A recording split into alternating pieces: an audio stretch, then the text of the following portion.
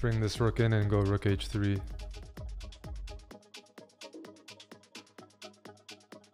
Yep. Let's fucking go! Lose to everyone in the tournament and take down Hikaru. Let's go. Let's go.